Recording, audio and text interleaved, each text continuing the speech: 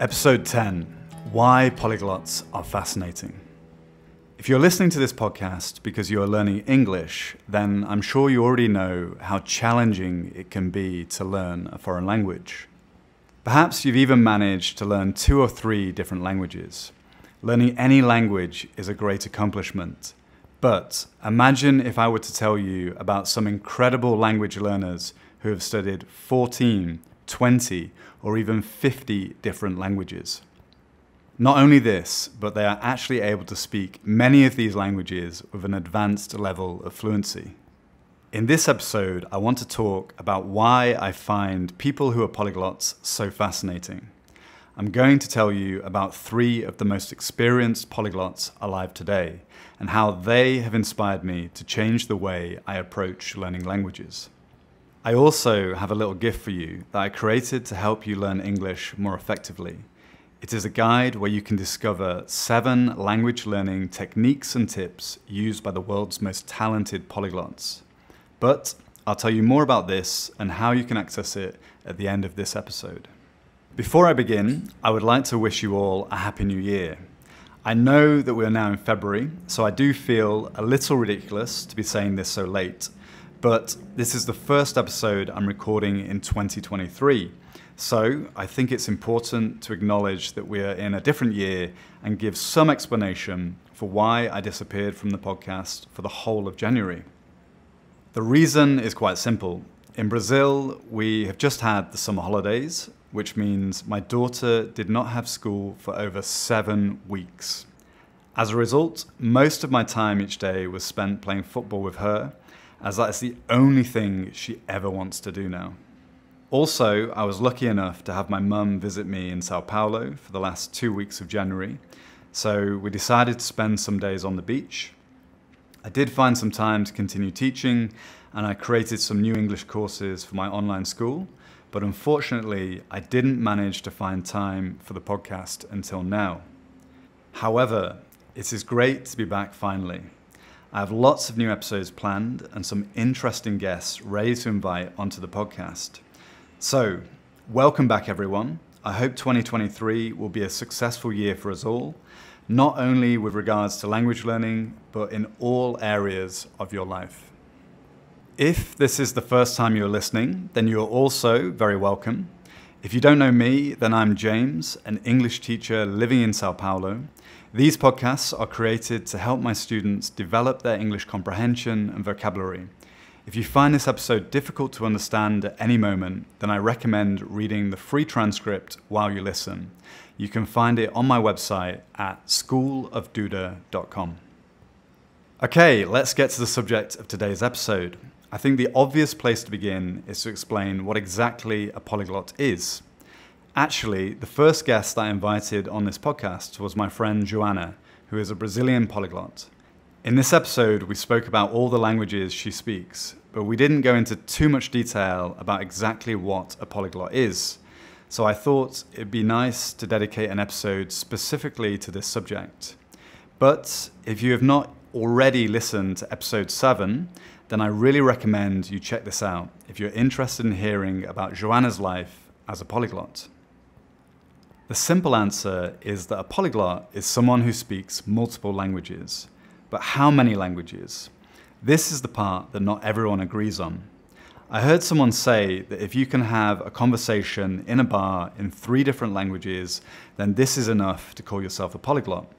However, most experienced linguists suggest that you need to be able to speak at least five languages with a high level of fluency before you are considered to be a polyglot.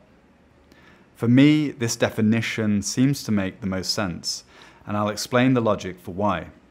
A person who speaks one language, their native tongue, is called monolingual. Someone who speaks two languages is bilingual. Three languages, you are trilingual. Four languages, and you are multilingual. Therefore, it kind of makes sense to me to call someone who speaks five languages fluently a polyglot.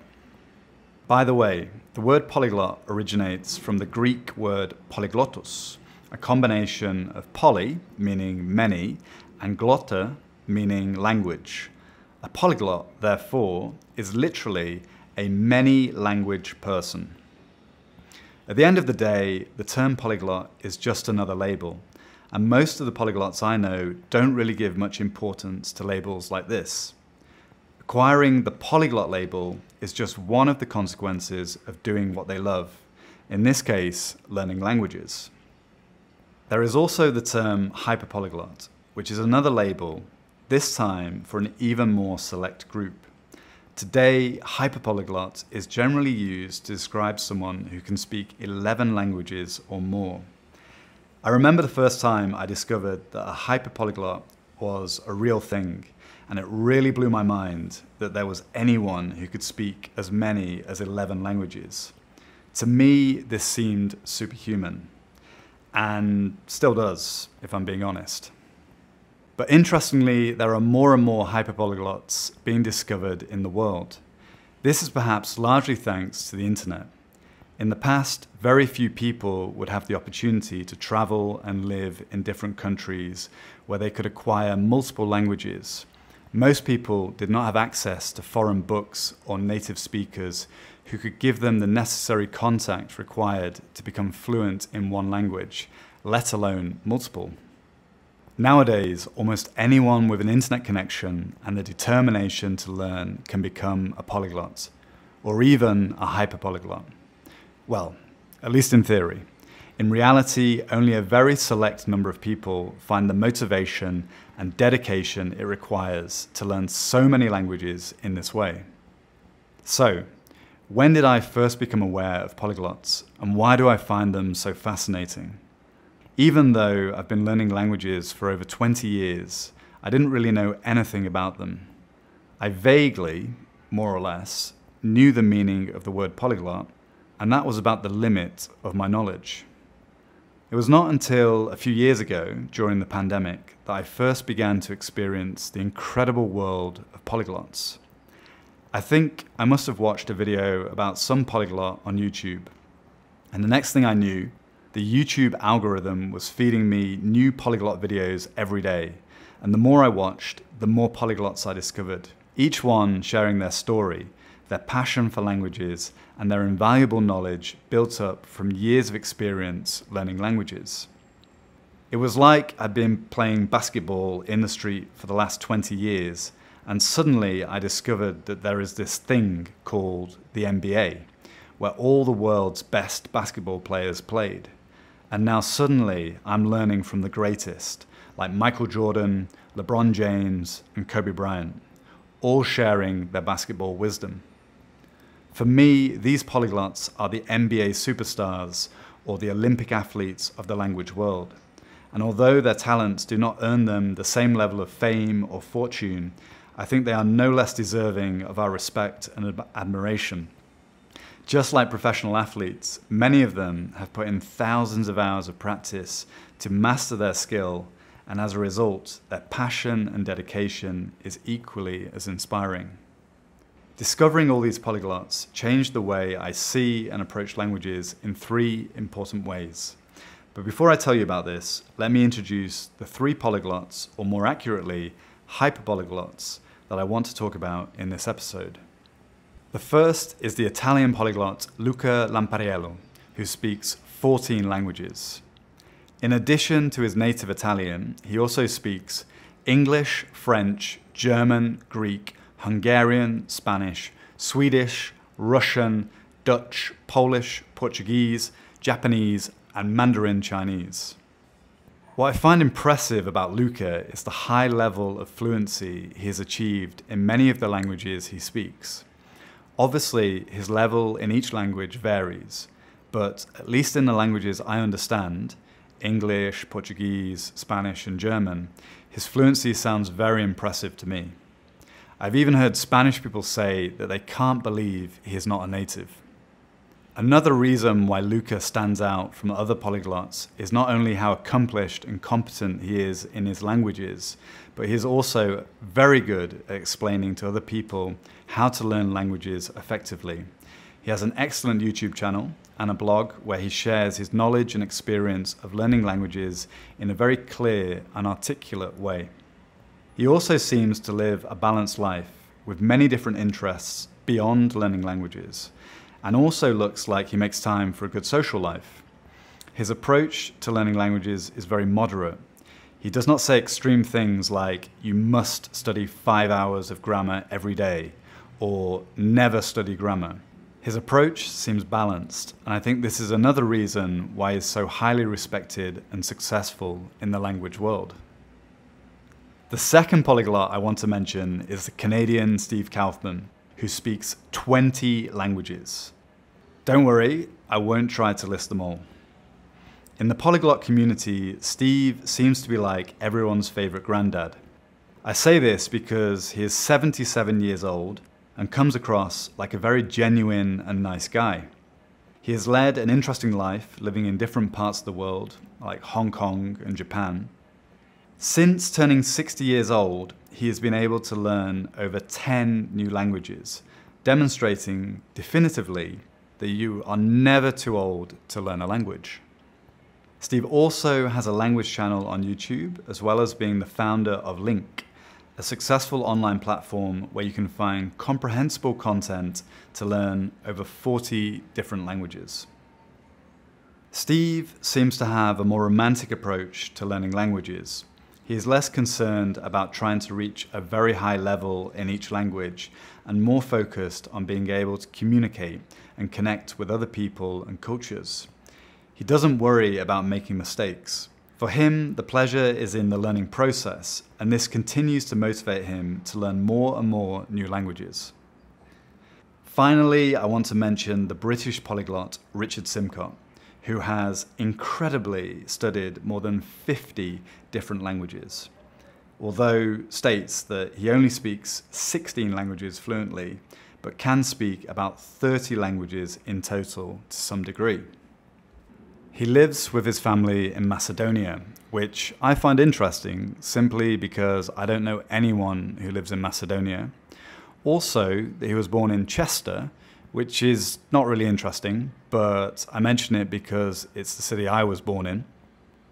He is known for his ability to learn languages in very short periods of time and has passed C1 fluency exams after only three months of study.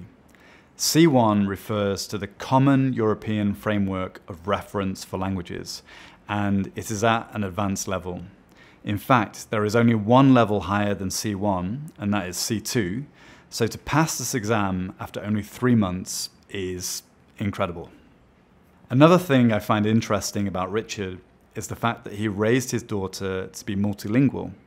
As a parent myself who is raising my daughter to be bilingual in English and Portuguese, it is great to hear about his experience doing this. However, as you might expect, Richard's family is a little more ambitious than mine. His wife is Macedonian, so they all speak Macedonian at home. He also spoke English and French to his daughter since she was born, later adding one hour of playing in Spanish and one hour of German each day. Now his daughter is fluent in five languages. If you're interested in learning how to raise a multilingual child, then I'll leave a link in the references where you can hear Richard talk about this in more detail. Richard is also the founder of the Polyglot Conference, where you can meet other language learners from all over the world and listen to talks about languages. Last year it happened in Mexico, and they choose a different country for the event each year. If you like languages, it looks like a great conference, and you don't actually need to be a polyglot to participate, which is good news because I would really like to experience this one day. Earlier, I mentioned that discovering these polyglots changed the way I see and approach languages in three important ways. So let me explain. Firstly, I became inspired to learn multiple languages at the same time. Previously, I'd always focused on studying one language at a time. I thought it'd be too difficult for me to learn two languages simultaneously. When I started learning Portuguese, I deliberately ignored German, and as a result, I forgot most of my German. When I started learning Spanish, even though I live in Brazil, I more or less ignored Portuguese. Or at least I stopped actively studying, reading books, and listening to Portuguese. Gradually, I noticed my Portuguese was suffering as a result. But when I saw these polyglots who are able to learn and maintain five different languages or more, often practicing and using them in the same day, I realized that I should be able to at least study two languages at the same time, maybe more. So I began to experiment by not only studying Spanish and Portuguese each day, but I also did a little bit of German as well as learning some of the basics in Japanese and Italian. Admittedly, this new routine only lasted a few months. Eventually, I decided to pause learning Japanese, Italian, and German for another time to give more focus to Spanish and Portuguese. But it was fun while it lasted, and it showed me that I was capable of doing a lot more than I thought was possible. This leads me to the second way my approach to learning languages was influenced by polyglots.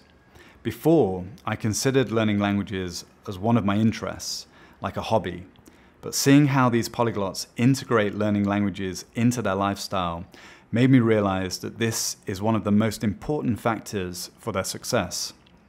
Luca Lampariello says that often people think that he must spend 10 hours every day studying languages and never have time for anything else. However, he says that he typically only spends one hour a day with his head in a book, actively studying languages. But this does not mean he's not learning the rest of the time.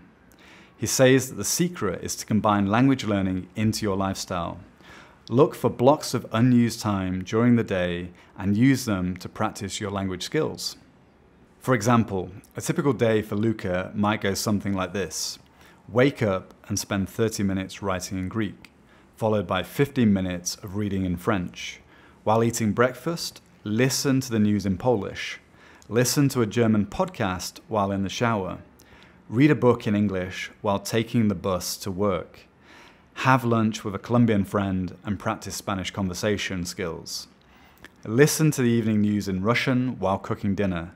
Spend 15 minutes writing a daily diary in Portuguese before going to bed. This example shows how a polyglot like Luca might be able to include as many as eight different languages into his daily routine. The key is to maximize the use of dead time, like time spent on the bus, and transform it into productive learning time. Luca also recommends creating fixed habits, such as always listening to the news in Polish when eating breakfast, or always a German podcast when in the shower. Personally, I don't like to plan out my time so rigidly or have a strict schedule that is inflexible. Or maybe I'm just not disciplined enough to do this. But after observing these polyglots, I no longer consider learning languages as just another of my interests. Now I consider it a lifestyle.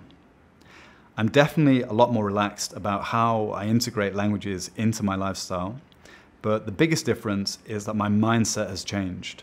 I still give myself the freedom to do what I want, but I'm disciplined in the sense that I always try to prioritize foreign languages over my native language. If I'm listening to the news or a podcast, reading a book, or watching a film, I do it in Spanish or Portuguese and not in English. This way, I'm naturally developing my language skills a little bit each day. Obviously, this does not happen without some sacrifice. People are always recommending great books for me to read, but then I see the book is only available in English, so 99% of the time I don't read it. I'm sure I'm missing out on some great books, but these are the choices we make. Today, my priority is to improve my Spanish and Portuguese. How much of a priority is learning English for you? This is a personal decision that only you can answer, as everyone has different priorities, commitments, and interests. But if you feel like watching a film, then watch one in your target language instead of your native language.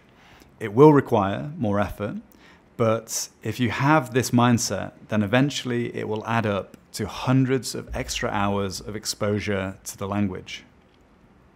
The third and final thing that I want to share with you is more of an anecdotal observation of polyglots instead of something intended to directly improve your language skills. It has to do with the way that polyglots interact with the world.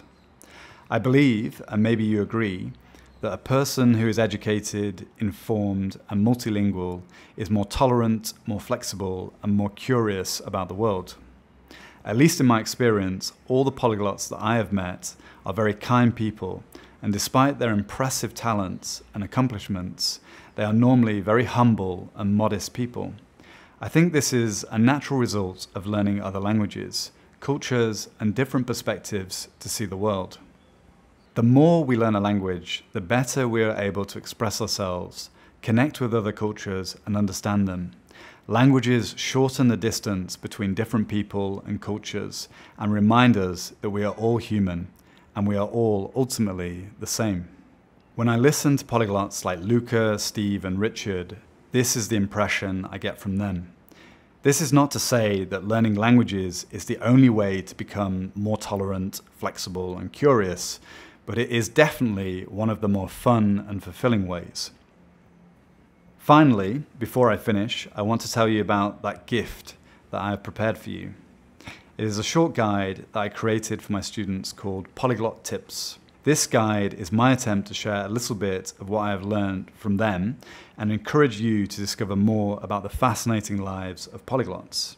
It not only includes the seven language learning techniques and tips used by the world's most talented polyglots, but also a list with more than 50 English words and phrases for you to expand your vocabulary. If you're looking to develop your English fluency, then I really recommend reading this guide. I'll leave you a link below for you to download your free copy at schoolofduda.com. Okay, this is the end of this episode. I would love to hear what you think about the polyglots mentioned in this episode. Do you know any polyglots? Are you a polyglot? Or would you like to be a polyglot one day? Why not answer by leaving me a comment on my website under this podcast episode or on Instagram? If you'd like to support this podcast, then please share it with a friend. You can also leave me a review on wherever you like to listen. Okay, thank you once again for listening, and I look forward to talking to you in the next episode. Until next time.